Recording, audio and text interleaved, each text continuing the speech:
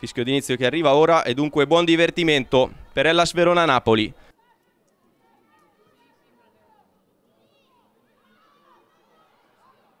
Meneghini che perde però palla in una zona pericolosa. Ora il Napoli che si conquista così il calcio di rigore con questa palla persa dal Verona in uscita.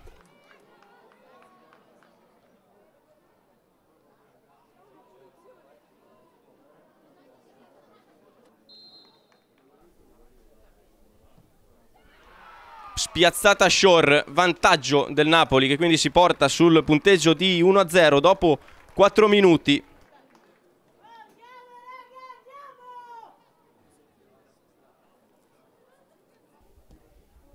Nella zona di Faria che spizza per Pinna che riconquista palla, entra in area, prova a servire Faria con il piattone sinistro. Da buona posizione l'occasione per il Napoli. Passaggio all'indietro per Shore che rinvia, un po' corto il rinvio di Shore. Il pallone resta comunque per eh, il Verona. Ora Peretti che va in verticale per Croin. Lanciata in area di rigore. Croin che va giù al momento della conclusione, forse ostacolata.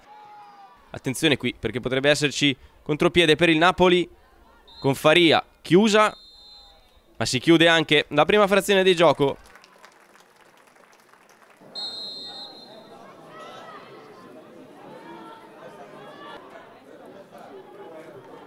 due le volte in cui sono state fermate in posizione di fuorigioco le giocatrici del Napoli che però ora si fanno nuovamente avanti con questa conclusione di Gonzales.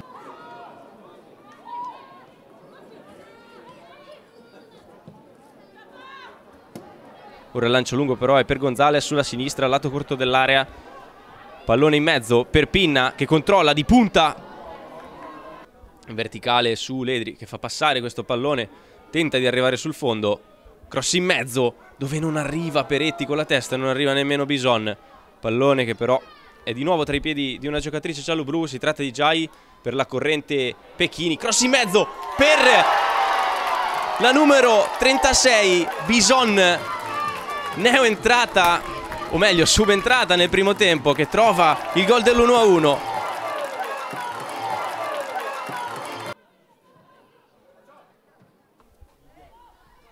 Pallone che però viene respinto dalla difesa del Verona. Attenzione al tiro dalla lunghissima distanza da parte del Napoli.